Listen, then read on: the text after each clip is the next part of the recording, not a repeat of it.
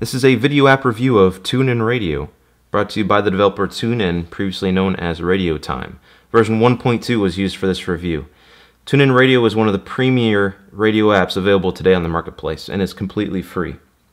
It's also available on just about every other phone OS out there, as well as Google TV, Yahoo TV, the Roku box, and the WD TV box. And you can also stream on their website. So it does run the gamut and if you create a login, all your presets are savable throughout all the different phones and TV systems. Very convenient.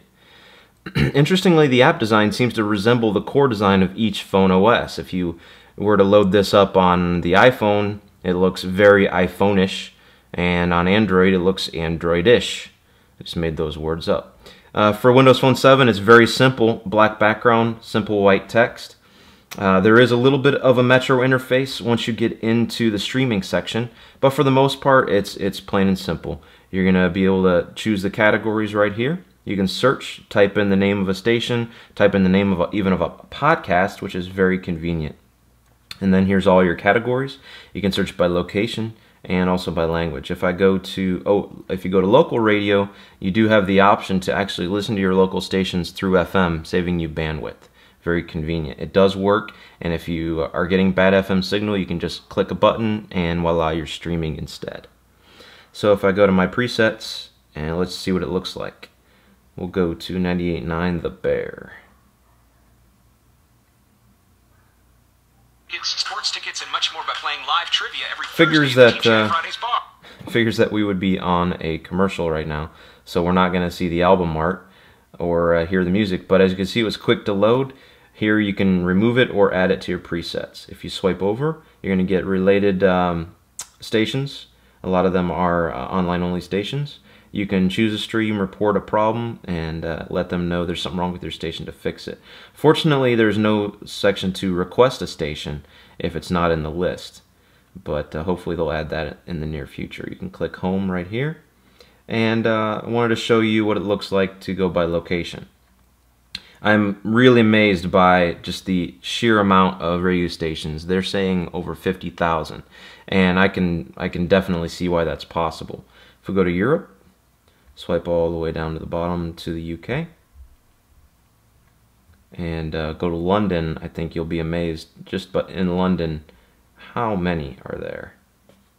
It was I think I counted 50 plus, and they do have uh, BBC stations um, it's just, and some of them are streaming out of London, but most of them are actual radio stations that have stream online options. So really, I mean, I, I checked out Mexico City, I checked out several different uh, continents, and it's it seems like it's almost all there.